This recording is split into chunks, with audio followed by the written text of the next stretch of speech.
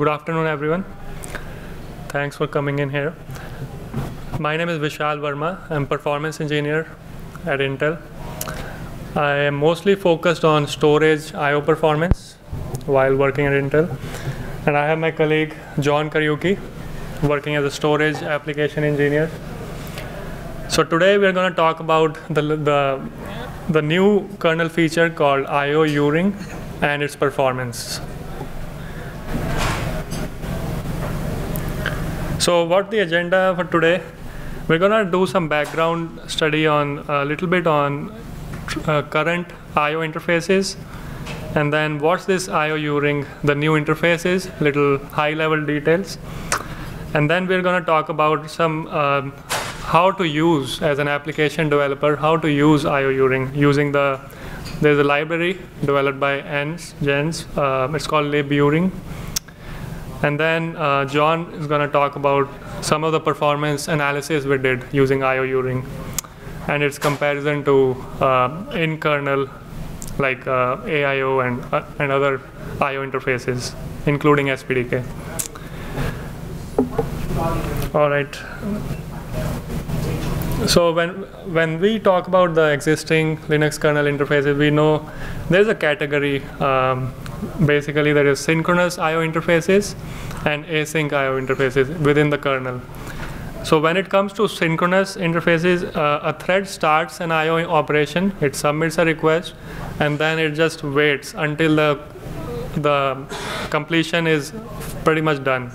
So it's it's blocking in nature, and normally the examples of these system calls in the kernel are read and write. These are pretty old, um, and they are out there for basic read-write operations. And then with the advancement, there is pread, write, with some features like uh, offsets in place, and then there are other extensions to pread, write with pread v, pread, write v, pread v2, and write v2. All of these are synchronous I/O interfaces within the kernel. And then there is a category of async interfaces where a thread a thread sends an I/O request to the kernel and it's it continues do uh, its own work. And then at certain point, the completion thread tells the actual submission thread that the I/O is finished. So these scenarios are pretty much like non-blocking in nature. And when it comes to Linux kernel like POSIX, there is AIO read, AIO write, which supports async mechanisms. And with Linux AIO, uh, that's a pretty common AIO interface, uh, which is predominantly used. And then there is always this uh, user space IO interfaces, like what are the examples of? So SPDK, it's, uh, it's a set of tools and libraries implemented in user space.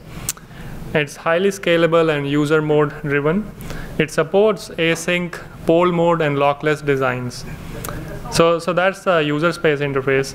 And if somebody wants to check it, like on SPDK, there is this uh, spdk.io to, to get more information on that.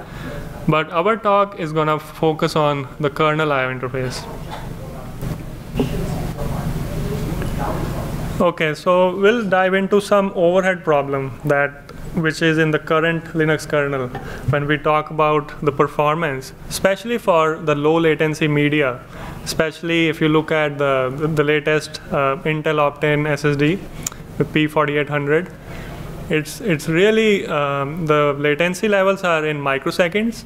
And when you start using these different I.O. interfaces, you try to compare, you know, for a single queue depth, what's my average uh, completion time when you send your request until it gets back from, from your media. So uh, what this graph is saying, uh, we have this relative latency. So we, we baseline our numbers based on PvSync2, which supports uh, polling in the kernel, and that is supposed to be really fast. And we, we can see that other interfaces like libaio, PvSync, vsync, all of them have a lot of uh, overhead compared to PvSync2. And that's just an example of when you, you're running a 4K, a simple 4K random read request with a queue depth of 1. So you can see there is an overhead of more than 30% in, in this scenario. so that was a simple use case. But what about you have um, multiple queue depths in, in your application? Um, when there is a single thread, it's submitting multiple at once. Like maybe uh, when you start scaling the depth from two to four to eight, until it gets to something like 256. So we took a drive, uh, a 3D NAND Intel P P4610 uh, drive, which can support up to 500k or even um, more than that 600k IOPS uh, per thread and we were looking at you know if you scale your queue depth how the IOPS behave so if you look your um, on the horizontal axis uh, all of those lines are overlapping so it's not very like from the coloring is not very clear but all of these uh, synchronous interfaces you see there is a flat line. So they tend to not scale with more queue depths. But if you look at there is a light green line, or I say light blue line, which is an uh, libaio. And because it's asynchronous interface, it's pretty clear that you know with more queue depth you start seeing more IOPS, and uh, that's for a single thread use case. So what the overhead problem here is, you know, you have um, a trade-off where if you want your very limited IOs versus you want like very high throughput, but there is always this overhead problem we, we have in the Linux kernel, especially for the, the upcoming low latency drives. So how so what's what's there like what can be done on the kernel like is there anything new so that's where this IOU ring the new IO interface which is starting to be part of the Linux kernel since 5.1 kernel release. And so, what is IO ring? So, it's a high IO performance and scalable um, interface. It supports zero copy, where you know your submission queue and completion queue they are basically accessing a, a shared memory. There's no uh, um, extra copy involved. Basically, you have your um, your process you, you get a file descriptor from uh, when you create an IOU ring uh, instance, and then you basically mmap your um, process into this. You mmap those uh, completion queue and submission queue buffers into the process address space. So then the application can directly talk to the kernel without any locking in place. And, and that allows you to have zero copy and Another thing, another cool feature of IOU ring, it's lockless. It's completely lockless. It supports um, single producer, single consumer type of ring buffers. So when an application is sending a request, it's like a, it's producing, it's a producer ring, and on the and while submitting, the kernel is the consumer. And whereas on the completion side, the kernel is actually producing and the application is uh, receiving or consuming. So, so that allows it to be pretty lockless. There's no locking involved. and IOU ring also supports batching, which is, you know, with, with batching, you, you tend to eliminate your system call overhead. So it's pretty efficient in terms of per IO overhead. And one of the features for AIO, it was it is uh, asynchronous, but it supports async with ODirect flag where you bypass your page cache. So, so this mechanism allows async IOs even like without requiring that ODirect support. And, and it supports block, uh, file IO, and also socket IO. Um, it, it operates in you know the interrupt and poll mode IO. So a user can basically choose depending on how he wants to like he or she wants to access the uh, the underlying IO it can be interrupt or the poll mode. So we'll, we'll talk about some performance uh, results, what we have discovered. And um, when it comes to actually using this um, IO ring, there is this liburing library.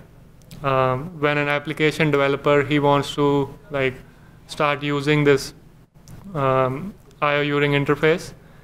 So so what happens is you know this this liburing library, it, it, allows different APIs. So first of all, a user would initialize the queues. There are a few examples like IOU ring queue init, which basically you know sets an IO Uring instance and it creates a communication and it gives you a file descriptor where your application can mmap and it can directly talk to the uh, kernel. And so that's for the initialization of the queue and similarly there is IO Uring queue exit which removes the um, IO Uring instance. And what about the submission? So, so there are a few examples of uh, when an IO has to submit. There's IO Uring get SQE, uh, prep read v, prep write v, and then the actual submit where you are actually sending your commands to the kernel for consumption.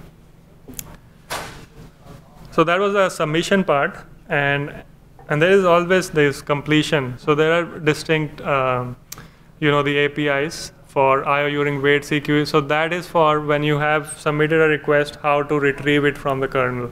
So there is wait CQE and peek CQE. The basic difference between the two is for wait CQE, you have to actually wait until the CQE is finished. Whereas with peek CQE, you're just taking a look at peeking at the submission, the completion queue ring, and it doesn't wait for the event to complete. And there is IO Uring CQE seen, which basically says, okay, once the IO is complete, uh, CQ ring head, you know, increments, and it allows kernel to fill in a new event. Um, and if somebody wants to look at uh, the, the, more features for liburing, uh, we have this link um, from uh, Jens under GitHub to, to look at you know what are the different features of liburing. Okay, so uh, to summarize, you know, the we talked about a little bit on the interfaces and like synchronous interfaces, libio, IO Uring. So how do they compare? So whenever you are um, submitting or completing an IO, basically the overheads are categorized into system call, memory copy, and context switches. So they really they are really the the main you know performance choke points when you're uh, submitting and completing an IO. So for sync AI, sync IO uh, for system call, it has to be at least one IO for like one system call for every IO. Whereas for lib IO, how the APIs work, it has to be two per per IO. Uh, whereas for IO Uring, which is new, which is uh, pretty efficient, it allows you to bundle your IOs into a batch, and then you can just submit one IO. So it uh, so you can say that it's it has one system call for whatever batch size you want. And also in IO Uring, there is a SQ kernel thread. It's a submission thread, which basically would allow no system call at all. So that's a pretty cool feature um, with IO Uring. When it comes to memory copy, it, as I said earlier, it supports zero copy, and it's pretty efficient compared to sync and libIO interfaces. Context switching is minimal, um, you have this polling in place with IO Uring, so so you don't have to. Um, it supports both interrupt and polling, but with polling there would be minimal context switching. Uh, you don't have to go back and forth uh, between user and kernel space. And of course, it's uh, it's asynchronous, so it's um, blocking when it comes to blocking I/O. Blocking I/O is yeah, you are waiting for the completion. Um, so it supports completely async even for uh, buffered IO, which is it supports buffered IO as well compared to lib IO. So those are the main you know trade-offs between IO Uring and why it is efficient. And now we are going to look at based on these uh, background, what kind of performance results we see when we run IO Uring. Um, so John will uh, walk you through those data. Thank you. Thank, thank you, Vishal. So we're going to be uh, looking at uh, some performance data that uh, we collected, um, comparing IO Uring uh, versus libIO, um, and also some comparisons with, uh, with SPDK. So this first uh, chart that we're looking at here, um, we were just trying to understand the maximum IOPS that you can get on a single core. So uh, standard Intel Xeon system, Uh, Cascade Lake uh, Platinum SKU is the, the CPU on this system. And uh, um, what's interesting with uh, IO U-ring is there's a couple of different tricks that you can play to get better performance. Uh, and what we're showcasing in this graph is, uh, so with IO U-ring, uh, right out of the box, without trying uh, a whole lot, we were able to get a million IOPS on, uh, on a single core. Actually, it's, it's about 1.2 million IOPS on a single core. and then we start applying the techniques of batching, and we see that performance go up uh, and peak at about 1.9 million IOPS um, on a single CPU core. The, the, the really interesting thing with batching, at least for us when we looked at this graph, is you often wonder with batching how effective, right? How, how big do your batches need to be in order for you to effectively see a significant increase in your performance? Uh, and as you can see in this graph, uh, you, you don't actually have to try much, right? At, at about batch sizes of four, uh, you're already seeing significant improvement in the, in the throughput in IOPS per core. And by the time you get to about a batch size of eight, you're already at about 1.8 million IOPS. So uh, batching techniques, pretty effective even, even at tiny batches, you still get noticeable performance improvements. You can batch for AIO also, um, and that, that improves the performance a little bit, right? Um, with AIO, that peaked at about 900K IOPS. Yes? Um, on that uh, performance, was that with or without polling or That's a good question. So uh, all the performance data we'll be looking at is IO U-ring in polling mode, no interrupts. And we actually have a slide later that shows uh, uh the number of interrupts when we turned, when, when we turned on uh, IO U-ring with polling. It's a good question. So now that uh, we knew the kind of bells and whistles we needed to turn on in order to uh, get the best performance, uh, we turned on those bells and whistles and we said, okay, let's run uh, LibIO and see what is the maximum IOPS we get on a single CPU core.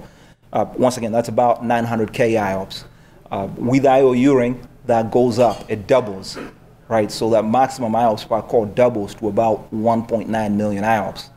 Um, and in case you're wondering what happens uh, with SPDK, right? Uh, so the key difference, a couple key differences between IO U-ring and SPDK. They're both polling, one's in user space with a few more tricks. Um, so with SPDK, we see about another five, 5.5x uh, increase in the number of, in the, in the IOPS per core. So the, the other side of the performance is the latency side, right? So if you're writing an application that is latency sensitive, uh, and you're looking at uh, these different I/O engines uh, and how well do they, uh, um, uh, how efficient are they in terms of the software overhead to submit and complete an I/O. Um, uh, that's what this slide here is trying to show. So we measured uh, just the software overhead to submit an I/O. That's what that blue bar is, the blue portion of the bar, and just the software overhead uh, to complete an I/O. So we are not, we are not including the drive uh, latency here. It's just pure software overhead to submit an I/O uh, and complete an I/O. So when we start with the libIO, uh, we see submission latency, sub software submission latency of about 1.5 microseconds, uh, and the completion latency uh, is about 0.5 uh, microseconds. We go to IO U-ring, uh, and we apply uh, another trick here called using fixed bufs. And what this trick does is it allows to it allows the application to pre-register your I/O buffers. Uh, that way, they are not being uh, mapped in your mapped in your submission path and unmapped in your completion path. So we get that overhead to map and unmap your I/O buffers out of your path. Um, and when we do that, we see a submission and completion latency uh, that totals at, at about 800 uh, nanoseconds. So uh, that software overhead, right, to submit and complete the I/O dropped by about 60%. And then as far as SPDK goes, uh, with SPDK, that overhead to submit and complete an I.O., uh, the software overhead is only about 300 nanoseconds. So It's about another 60% lower than what you're seeing with the IOU ring.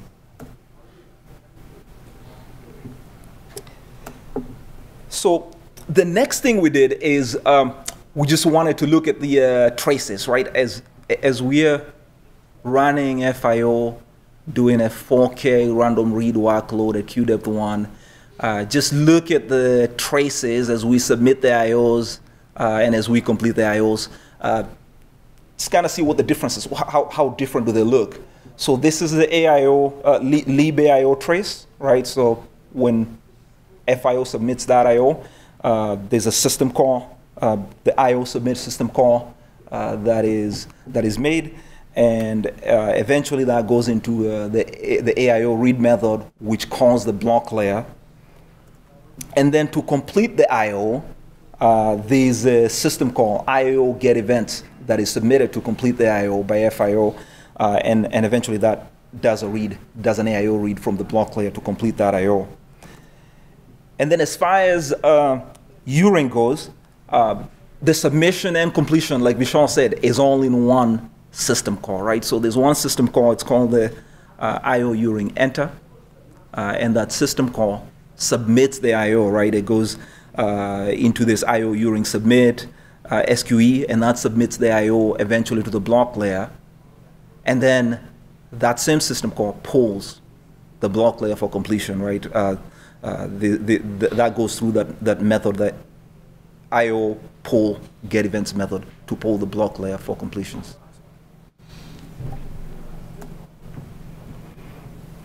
So um, I think this is some of the data you ask, and so looking at um, what's actually happening on the hardware side in terms of interrupts as, as we go from uh, uh, libAIO in an asynchronous uh, interrupt-driven mode to IOU ring, uh, which is asynchronous but polling inside the kernel.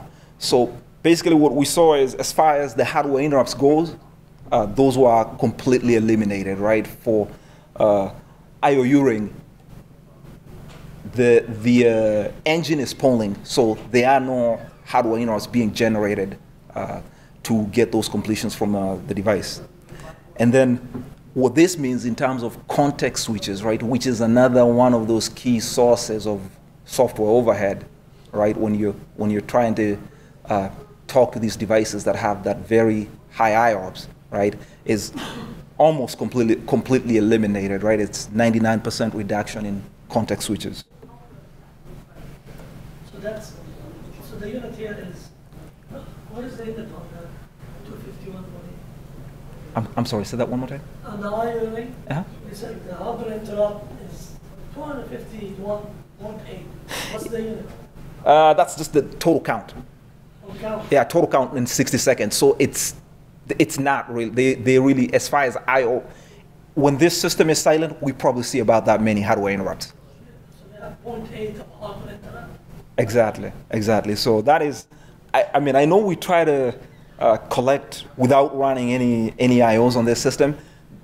The number was pretty close. It wasn't quite 250 per minute, but for all intent purposes, the the the uh, uh, the the conclusion here was with polling, we which is what's expected, right? Is if we're polling the device for completion, we should not be seeing hardware events, right? Hardware interrupts being generated for those completion events. So next, we're going to take a look at uh, um, a couple of slides that um, basically drill down into uh, the kind of efficiencies that, that we are getting with IOU ring as far as utilizing the microarchitecture resources. Um, and the way we looked at this is we used uh, something called the top-down microarchitecture analysis methodology. Um, and if you're not familiar with it, we have a good link um, at the bottom there that talks, uh, I think it's a 50, 50 page white paper that talks, talks, it talks, gives a lot of details about this methodology. Um, but the, the, the, key thing with the top down microarchitecture analysis method is um, it, it provides a structured way to basically analyze the performance bottlenecks uh, of the key function blocks of these out of order execution microarchitectures. Um, and so we used this methodology. We looked at uh, some data at the level one. Uh, we looked at um, the, uh, you know, the percentage of time that's being spent retiring uh, instructions. Um, and then as far as the CPU pipeline goes, um, we looked at uh, what's happening on the front end and the back end, right? So the CPU pipeline can be broadly broken down as uh, into a front end and the back end. Uh, and on the front end, the front end is basically in charge of uh, fetching instructions, decoding them into micro operations, and then submitting them to the back end. And then on the back end, uh, the back end is looking at these micro operations, and as the operands for those micro operations become available, uh, the back end uh, executes those micro operations and retires them. So as far as the, as far as the, uh, uh, the pipeline goes, we also have interesting data around uh, the, the TLB utilization, the cache utilization, uh, and we're going to take a look at that. So we started our analysis by looking at CPI, which is probably a metric that you're probably pretty familiar with, right? So we wanted to see, as we go from uh, uh, asynchronous, an, an asynchronous interrupt-driven mode with libIO uh, to, a, to, a, to a polling implementation with IO Uring, um, how does that change the cycles by instructions? And uh, what these numbers here are showing is uh, with IO Uring, with batching, uh, that CPI, cycles per instruction, um, that dropped by over 60%. So we said, well, this looks really good. Uh, well, let's drill down a little bit more and look at uh, uh, what's really going on uh, at that level one of the microarchitecture. And that's what I'm sharing here. And the key, the key thing we noticed uh, is that green portion of those bar graphs and the, uh, I think that's orange portion. So the green part shows the um, uh, the uh, percentage of time being spent retiring instructions. And what we see is as we go from uh, libIO to uh, IO Uring with batching, there's a 30% increase in the uh, amount of time being spent uh, retiring instructions. And then that orange part, uh, it's orange, shows uh, how much time is being spent in a stalled state, right, waiting for something, right? And what we see is as we go from uh, uh, libIO uh, to IO Uring with batching, uh, there's 30, 30, 30, approximately 32% less time being spent waiting for things, right, in a stalled state. So this, this sounds really interesting. We're like, okay, well, let's, let's drill a little bit deeper and see you know what's happening when uh, uh, uh, when what's where is the where is this improvement in the amount of time being spent in that stalled state? Where is that coming from? And uh, this graph here has lots of bars for sure. Um, it, the, the, key the key theme I think that that popped out right away is around instructions, right? Uh, especially around the uh, uh, instruction cache and the instruction TLB, right? Uh, going from libIO to IO Uring with a uh, polling uh, reduced the misses on the ITLB and the instruction cache uh, by over 60%. So that was the, the, the, one that really popped out. But there are, there are a couple of other notable ones, right? You can see as far as branch load misses goes, uh, there's about a almost 30% between, I believe, actually I think it's between 30 and uh, 40 percent decrease in the in the misses there. Um, as far as the uh, LLC uh, cache, uh, as far as load misses go, there's about 10 percent improvement. So basically, uh, what what this is showing is IO Uring is more efficient in terms of utilizing the microarchitecture, these microarchitecture uh, features like the caches, especially the, the instruction cache um, and, and uh, the LLC cache. And in case you're wondering about uh, the comparison with SPDK, um, that's what uh, this chart here is showing. And the interesting thing is how the theme, that theme uh, on the instruction cache and the instruction TLB carried on, right? In, in, even when we were comparing IO Uring versus SPDK, right? We still see there's about a 90% reduction in the misses um, on the ITLB and the L1 cache.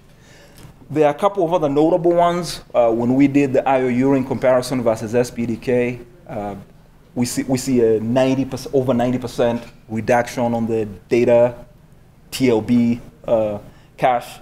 Uh, we also see over 90% reduction on that LLC uh, load miss. Um, and then the, the branch load miss, uh, that one's also significant. It's about 70 to 80%. But that's hundred percent read, okay, right? This is 100% read 4K, that's right.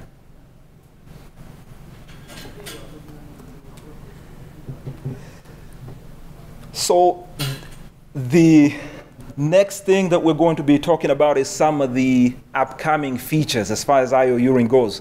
Um, so a lot of interesting uh, things coming down the pipe. Support for sockets.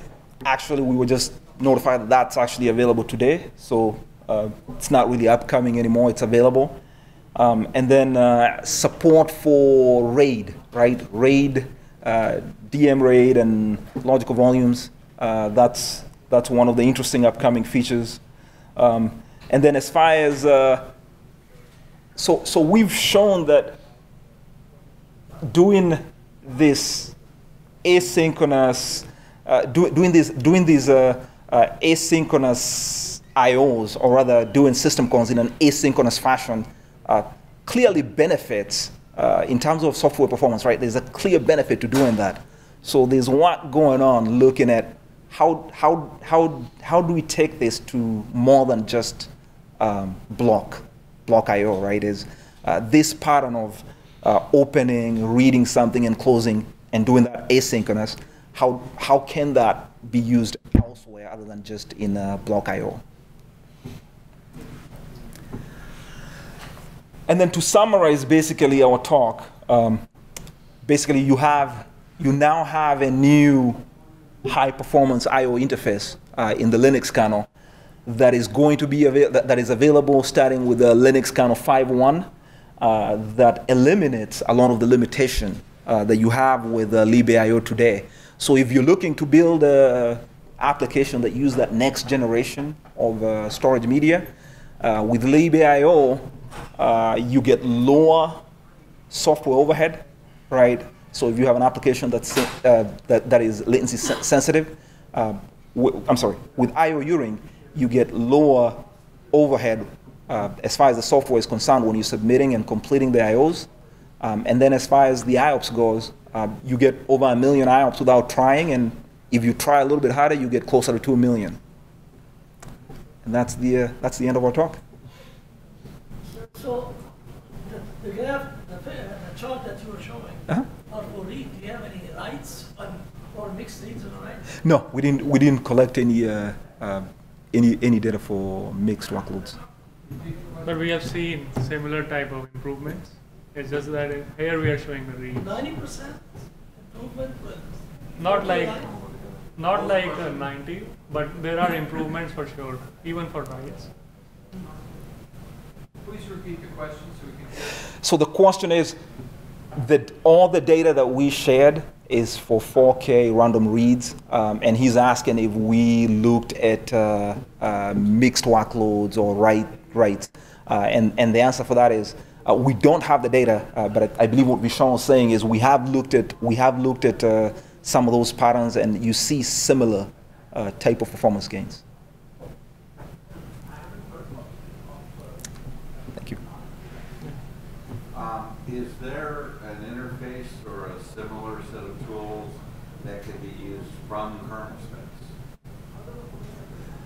is there an for for IOU ring? Well, or that that lowers interrupts, does the same performance optimization, but if you're trying to use block devices from a kernel space application, I, that's a funny term, but mm -hmm. you, want to, you know from a kernel thread, if I want to do block I/O, are there similar techniques that can be used? the lower system overhead when you're coming from kernel space? So IOU ring, I believe, targets user space. And Christoph is here. He can correct me if I'm wrong. Um, but so. Yeah. yeah.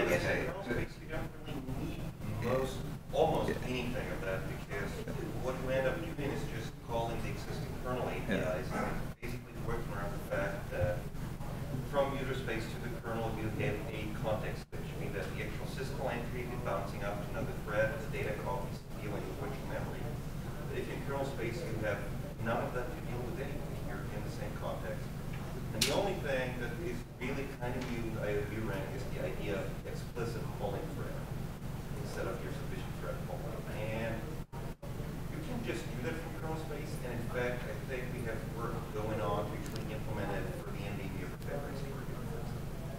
But I would be better off to drive the NVMe over Fabric target directly as opposed to doing a generic make request in file.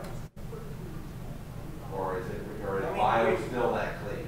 Well, I mean, we have pre-allocated memory, we have a pre-allocated bio. It's, it's really not doing much work already because we spend kind of same amount of optimizations we're doing with the user space interface for that work instead. The other fabrics work. So we should go show some nice benchmark numbers and we're actually benefiting from that as well. So I don't, I don't have low hanging fruit there. Okay.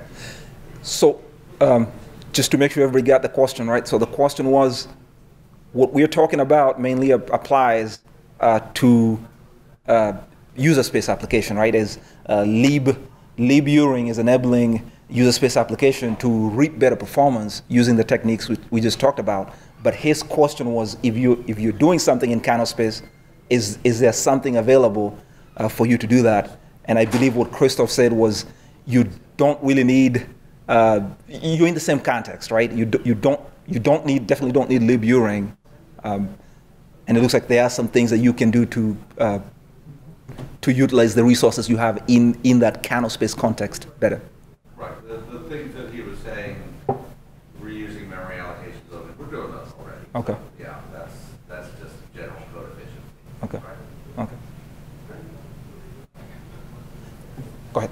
Are there any special considerations uh, if I want to set this up in a uh, remote multi-socket scenario? Set this, uh, uh,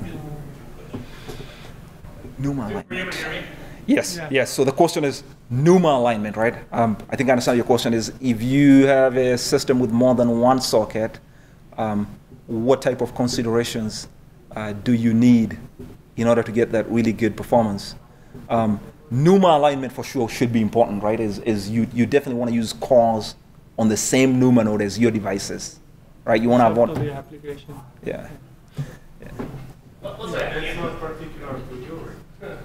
Yes. No, Yeah. no, It's no. up to it's- the application. yeah. um, I mean, you probably want one U-ring per socket at least, but that's probably a pretty good start. Yeah. You want to make sure you have multi-ported NVMe drive or using the multipathing driver so that it doesn't go off node when it's submitting node. And there might be a couple other things like playing with the NUMA, but nothing really specific.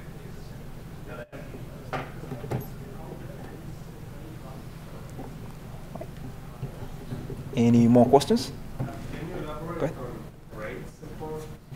regarding web? Um, other than it's not supported today, Yeah. no. What- When we, we support it, what, how, what, what meaning does it take? What type of commands you Do- gonna do? it's- Yeah? Are you gonna create volumes? Are you gonna create, what are you gonna do, tuning? I, you know, It, it, well, let me, let me ask it a different way. Are you supporting specific pieces in RAID or are you generally devo- supporting device mapper targets? So so today it's not supported, right? Um, I know, uh, Christoph, in your talk, uh, uh, you, you I, I don't think we have Jens here, but is there, do you, do you know what the plan is, Christoph, for supporting RAID with the IOU ring? Uh, I, I mean, I, I think we're confusing two things here. Because iodine works perfectly fine everywhere. It's just a polling feature. Yes. Additional support from the driver side. Yes.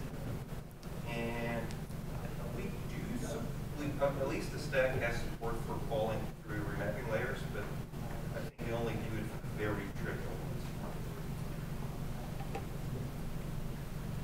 Like, like partition remapping can't find your I need to double check that.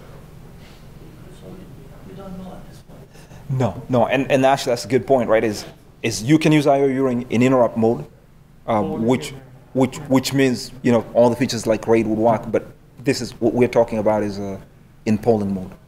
Um, that's that's where the RAID doesn't work. Yeah, yeah, and, yeah. Un- unfortunately, I I don't have a, an answer for you right now on when that will be supported. Go ahead. Uh, are there any like specific use cases where you would recommend projects to use IO Uring instead of SPDK? Um, so I think. Okay, thank you.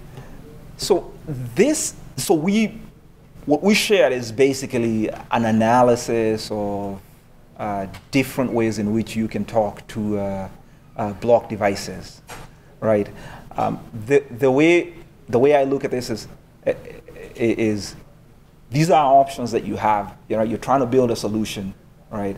Uh, and you know, if you're looking at performance, uh, we're sharing the performance numbers that you, you see with the different ways in which you can talk to the, talk to the device.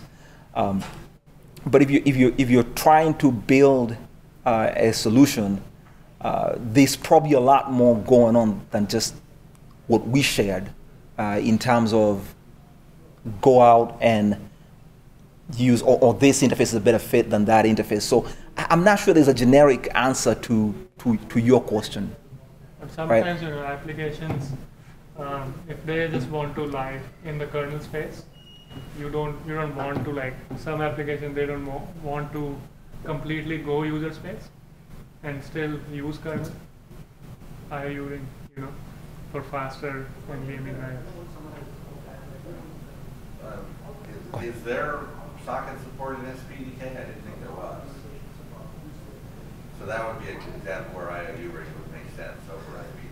So I mean, uh, and, and, maybe some of this is confusion in terms of what SPDK. So SPDK is not trying to provide a socket interface. Right. So, so um, where SPDK is not an option at all. Exa- exactly right. I mean, once again, it goes back to what are you trying to build, right? If you're trying to build something that's using socket, then can IOU ring be used to cut down user kernel transitions for general file IO? As opposed to block? Yes. there, there definitely is support for uh, uh, file I/O. Yes. Okay. Yes. Absolutely. Yeah. The data we share though is, is just for block. We don't have the uh, performance numbers for, for file. But yes, early on in his in your slide, right? Things like with polling will work on file too. It's not just a block device feature. You can use the file system. It will be slow. Factoring out will be significantly slower. But I have a nice, bunch of really nice micro optimizations here that if they all land, will make file out almost as effectively while you have benefit of management benefits of the file system. Cool. Thanks. Thanks, Christoph. Any uh, any more questions? Thank you.